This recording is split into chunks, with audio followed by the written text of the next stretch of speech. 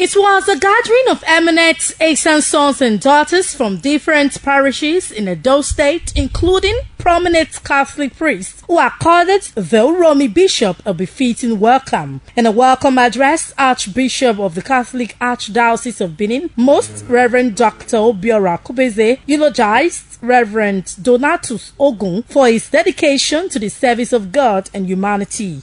He is the shepherd of Diocese of Uromi and he's doing well. And from their remarks, from the opening remarks, you saw what the, they said they hear what he's doing as far as evangelization is concerned. He's opening up new parishes and then, you know, building structures that will help the work of evangelization. So we we are to assist him to do more.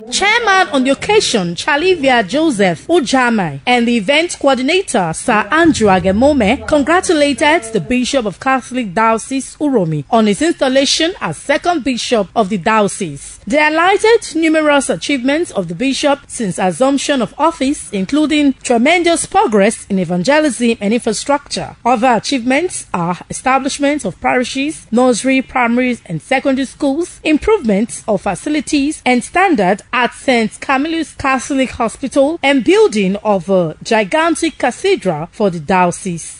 We have all participated and watched your movement, your activities in our land, and we see that a lot of progress has been made, and we are very happy and grateful to God that the choice was well made and well placed among all the people around.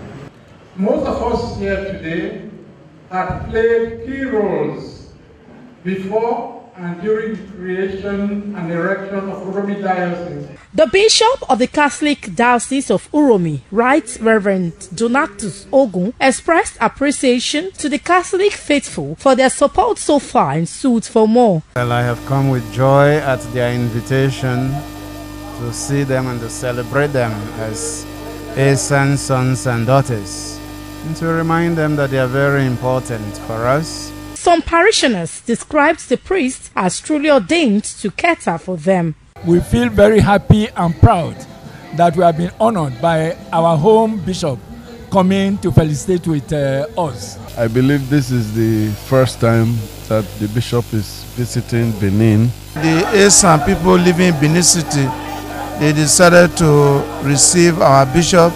All of us who are his ancestors, daughters in Benin are very happy to receive our chief shepherd.